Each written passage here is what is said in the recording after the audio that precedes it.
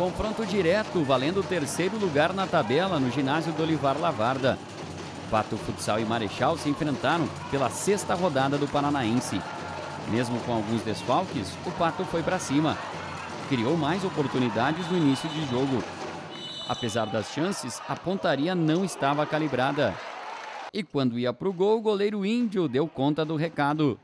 O Marechal começou a criar chances na reta final do primeiro tempo mas o placar fechou zerado. Na segunda etapa, de novo, o Pato no ataque perdendo chances. Foram duas cara a cara com o goleiro. O torcedor não aguentava mais tantas oportunidades desperdiçadas. Mas nesta jogada de Luciano pela esquerda, cruzamento para Rangel completar. O camisa 5 parou dentro do gol e saiu para comemorar. Pato 1 a 0. Nos minutos finais, o Pato teve a chance de ampliar. O Marechal buscava com o goleiro linha e o Pato não conseguiu matar o jogo. Faltando dois minutos, Vitor escapou pela direita e deixou tudo igual, um a um.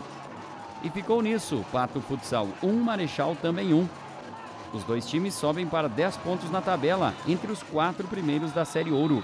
O Pato volta a jogar na quarta-feira, jogo em casa contra o Mariópolis.